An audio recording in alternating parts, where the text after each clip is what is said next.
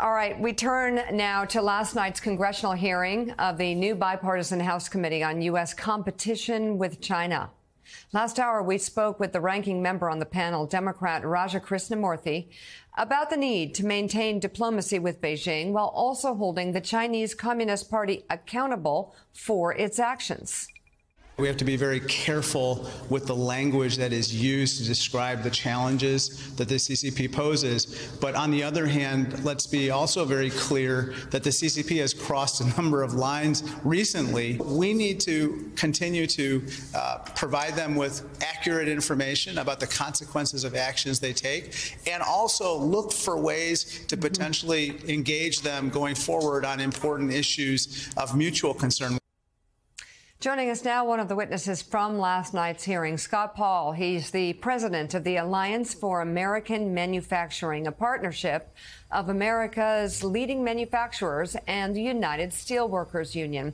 So, uh, Mr. Paul, you say that um, the economic policies of the Chinese Communist Party present a clear and present danger to the American worker.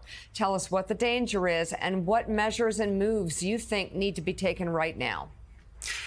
Thank you, Mika. It is a danger in a number of different ways. First, over the last couple of decades, certainly in the industrial heartland, but also in communities across America, we've seen a lot of factory closures uh, as Chinese imports surged into the United States. Second, in many ways, we turned over the keys to the 21st century economy to the Chinese Communist Party. Intellectual property theft, uh, technology transfer, transfers. I think the lure of using China as a factory floor was too great for a lot of big companies. Uh, and so our consumers got cheap, uh, cheap T-shirts, but we're mm-hmm. behind uh, in a number of different technologies, and we've had to play catch up in a hurry. And the challenge, Mika, is that this is not simply a commercial business to business issue. Uh, every business in China is subservient to the Chinese Communist Party, has to answer to the government. We've seen that with TikTok, but that's true with manufacturers as well. So our technology is being utilized by China's military in a hmm. race. And so we just have to be careful. We can't do unforced errors. I think we have to have a smart policy. It includes some changes on trade. It includes making ourselves more competitive, but we, we definitely have to wake up to this challenge. Yeah, and you say that uh, while the Chinese Communist Party's policies have been destructive, our policies have, have made matters worse. Uh, is that what you were just talking about, or, or, what, what other ways have we not been helpful to our own interests, and how can we change that?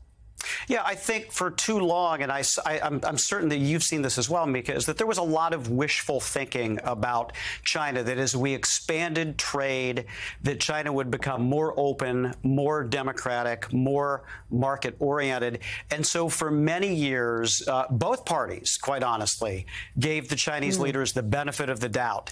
That hasn't worked out well. I mean, we saw this shock again that has hit industrial heartland communities uh, and has really devastated them in a lot of social ways as well. And, and we're now dangerously behind on a lot of key technologies. We're playing catch up on solar, on batteries, on electric vehicle manufacturing, uh, artificial intelligence. The, the list is pretty big. And, and we've leveraged ourselves. Uh, a lot of medicine is made, made in China for which we depend. And we saw those shortages flare up during the pandemic. And so I'm glad lawmakers have a focus on that. I completely agree with the ranking member member, uh, Krishnamoorthi, that this shouldn't be about Chinese people. This should not be about Asian Americans. This has to be directed at the policies of the Chinese Communist Party. But we have to understand that no one wants a Cold War, no one wants a hot war, but we're going to be in a serious economic uh, competition with China, and our policies now need to reflect that. They should not give the China's, Chinese Communist Party the benefit of the doubt as we have in the past.